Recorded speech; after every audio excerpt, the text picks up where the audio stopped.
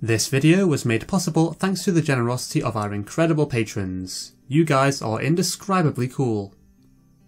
Hello everyone and welcome to another EDH gameplay video brought to you by Affinity for Commander. My name is Martin. And my name is Alex.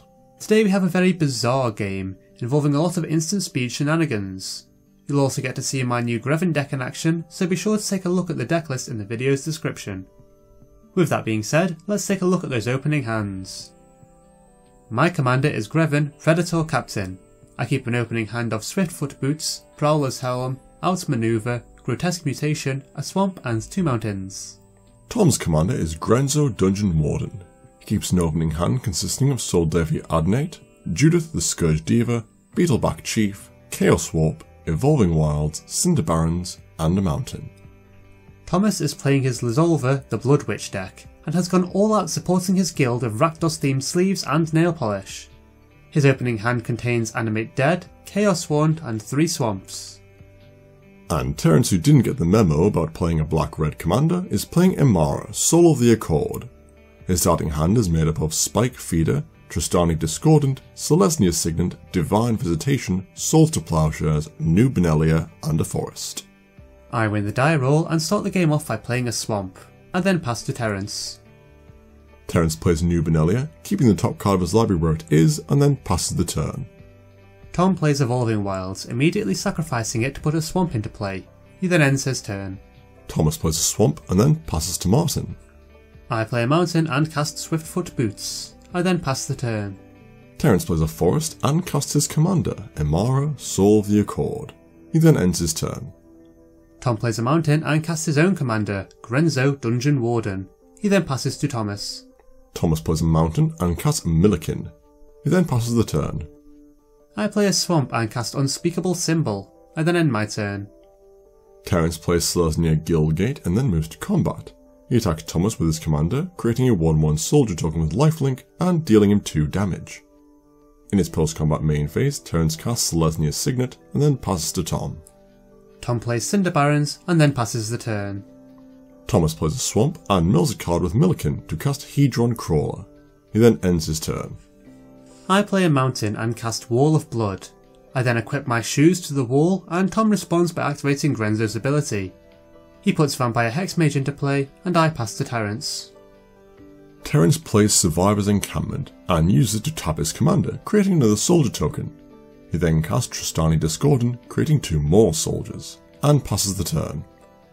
Tom plays Smouldering Marsh and then ends his turn. Thomas plays a Swamp and mills a card with Millikin to cast Night Incarnate. He then passes to Martin. I play Cinder Barrens and cast Soul Drinker. I then pass the turn. Terence plays a Forest and then moves to combat. He attacks Thomas with all of his tokens and Thomas blocks one of them with his Elemental. Tom responds by activating Grenzo's ability twice, revealing a Mountain and Mad Auntie. The Goblin is put into play, Thomas takes 6 damage and Terence gains 8 life from his creature's lifelink. In his second main phase, Terence casts Divine Visitation, and then ends his turn. Tom plays Canyon Slough and then passes to Thomas. Thomas mills yet another card with Millikin and casts his commander, Lyzolda the Blood Witch. He then passes the turn. I cast my commander, Greven Predator Captain, and then end my turn. Terence uses Survivor's Encampment to tap Emmara, making an angel token thanks to his enchantment. He then passes to Tom who responds by activating Grenzo's ability twice. He reveals a Swamp and Noosegraf Mob, putting the latter onto the battlefield with 5 plus 1 plus 1 counters on it, and then proceeds to his turn. Tom casts Magus of the Moon and removes a plus 1 plus 1 counter from his Noosegraf mob to create a 2-2 zombie token. Tom then passes the turn. Thomas plays a Mountain, mills a card with Millikin, and casts Chaos Wand. Tom removes a plus 1 plus 1 counter from his mob, makes a zombie, and Thomas ends the turn. I move my Swiftfoot Boots over to Greven and then move to combat. I attack Terence with my commander and he blocks the captain with two angels. I respond to this by casting Outmaneuver. Tom removes a counter from his mob to make a zombie, and I activate Unspeakable Symbol 6 times, losing 18 life, putting 6 plus 1 plus 1 counters on Greven and giving Greven a further 18 power from his own ability.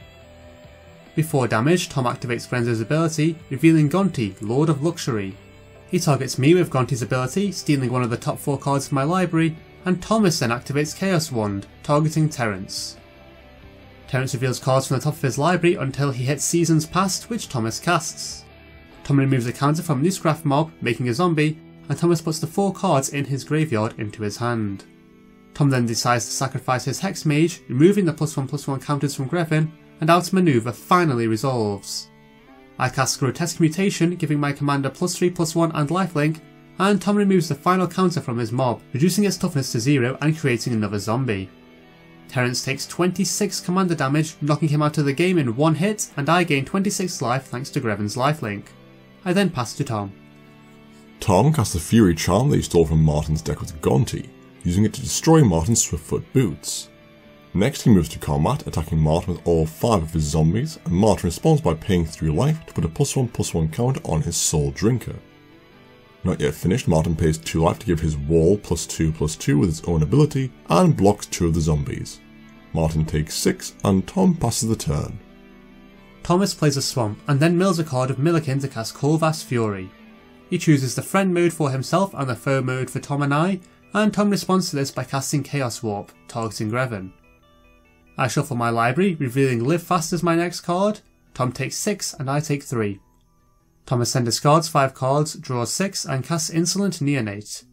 He then ends his turn. Martin casts Live Fast, drawing 2 cards, losing 2 life and gaining 2 energy. He then plays a swamp and passes to Tom. Tom draws for turn and then passes without casting anything. Thomas responds to this by sacrificing his Neonate, discarding a card and drawing a card. He then proceeds to his turn. Thomas plays Graven Cairns and casts Vindictive Lich. He then passes to Martin. I cast Ancient Craving and Tom responds by flashing in dual Dualcaster Mage, copying the spell. We both draw 3 cards and lose 3 life and I play a swamp before passing the turn. Tom responds to this by activating Grenzo's ability, putting Goblin Crater Maker onto the battlefield before moving to his turn. Tom casts Crucible of Worlds and plays a swamp from his graveyard. Next he casts Thran Turbine and then moves to combat. Tom attacks Martin with 3 zombies, Dualcaster Mage and Gonti. Martin pays 2 life to give his wall plus 2 plus 2, blocks 2 zombies and takes 6 damage. Tom then ends his turn and Thomas responds by activating his wand, milling a card with Millikin. He targets Martin with the wand, hitting Chandra's Ignition, which he then casts targeting Vindictive Lich.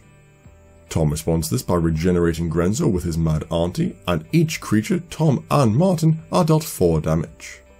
Night Incarnate's ability then triggers, giving everything on the battlefield minus 3 minus 3, and Tom activates Grenzo's ability in response.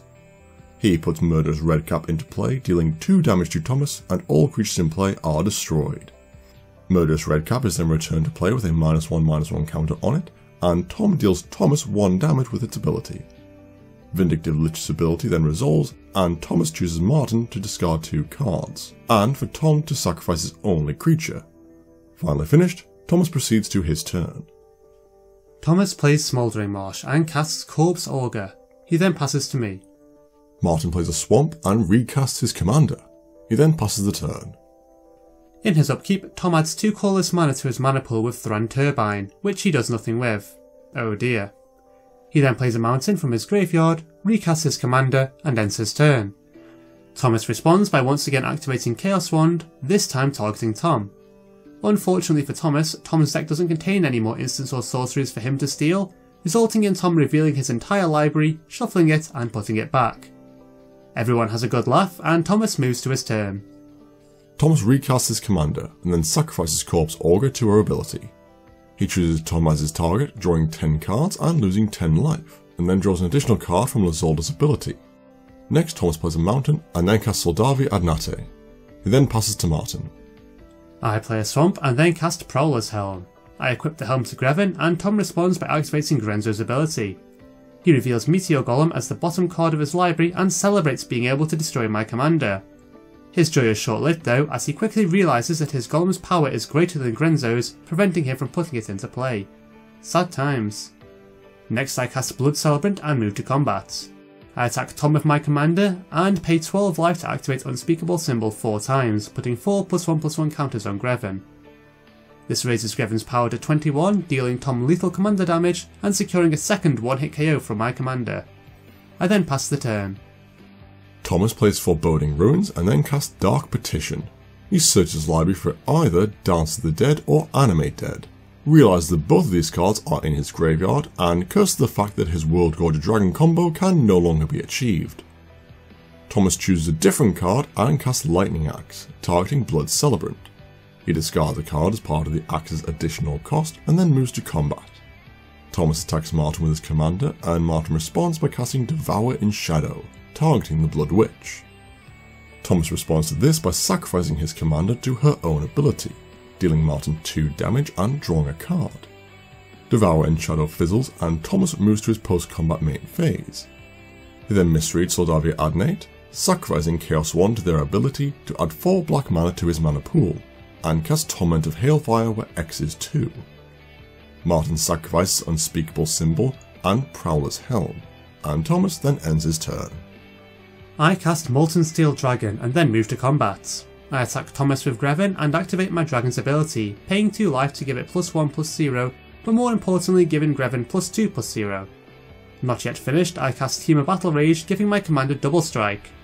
This gives him 22 power, dealing Thomas lethal commander damage and winning me the game. Well, that's it for another episode. Be sure to like and subscribe if you enjoyed it, and feel free to leave us a comment, we read every single one of them. Also, be sure to follow us on Twitter, at ForCommander, and feel free to check out our Patreon page, links are in the description. We'll see you next time.